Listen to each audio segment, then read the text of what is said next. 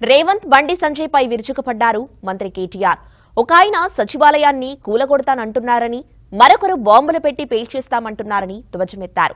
మరొక ఆయన సమాధులు తవ్వుతామంటున్నారని వీళ్ళ చేతిలో రాష్ట్రం పెడితే ఏమవుతుందో ప్రజలు ఆలోచించారని కోరారు. పచ్చని తెలంగాణను పిచ్చోళ్ళ చేతిలో పెట్టొద్దన్నారు.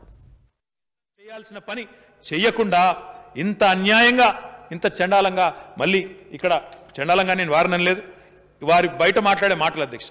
ఇగో ఇప్పుడే మిత్రులు చెప్తా ఉన్నారు. సరే ఇక నేను వాడి జోలికి పోను అధ్యక్ష కానీ బయట చాలా దారుణంగా ఒక ఆయన ఇప్పుడు సెక్రటేరియట్ గులగొడతా అంటున్నట్టు నేను ఒక ఆయన ప్రగతి భవన్ గులగొడతా అన్నాడు ఇప్పుడు ఒక ఆయన సెక్రటేరియట్ గులగొడతా అంటున్నాడు. ఇక ఏందో అధ్యక్ష మరి మేమేమో నిర్మాణాలు చేద్దాం పునాదులు దవుదామని మేమంటున్నాం అధ్యక్ష వాళ్ళేమో ఒక ఆయన సమాధులు దవుతా అంటాడు ఇంకొక ఆయనేమో బాంబులు పెట్టి పేలుస్తా అంటాడు.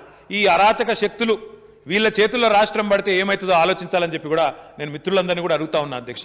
పచ్చగా ఉన్న తెలంగాణ పచ్చగా ఉన్న తెలంగాణ పచ్చని మాగాణంగా మారిన తెలంగాణ పిచ్చోళ్ళ చేతిలో పెట్టవద్దని చెప్పి నేను ఖచ్చితంగా తెలంగాణ ప్రజలకు ఈ వేదిక ద్వారా విజ్ఞప్తి చేస్తా ఉన్నా అధ్యక్ష.